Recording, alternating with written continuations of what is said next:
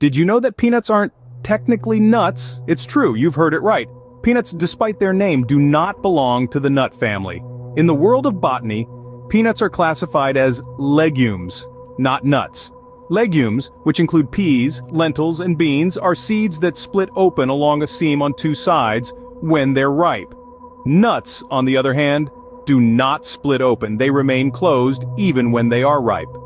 This unique characteristic of peanuts puts them in the same family as lentils and peas, not almonds and walnuts.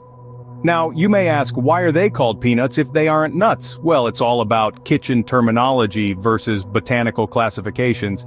In the culinary world, peanuts are often grouped with other nuts because they share similar properties. They are hard-shelled, have a high oil content, and can be roasted, ground, and turned into butter, just like true nuts.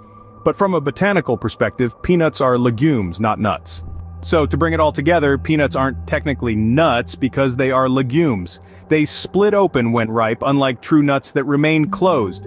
Their name, which may suggest they are nuts, is more related to their culinary use than their botanical classification. And while this may seem like a trivial detail, it's a fascinating example of how language and science can sometimes clash. In the end, whether you call them peanuts or legumes, they are still a delicious and versatile food packed with protein and healthy fats. So go ahead and enjoy your peanut butter sandwich, or your handful of roasted peanuts, knowing you're technically eating a legume, not a nut.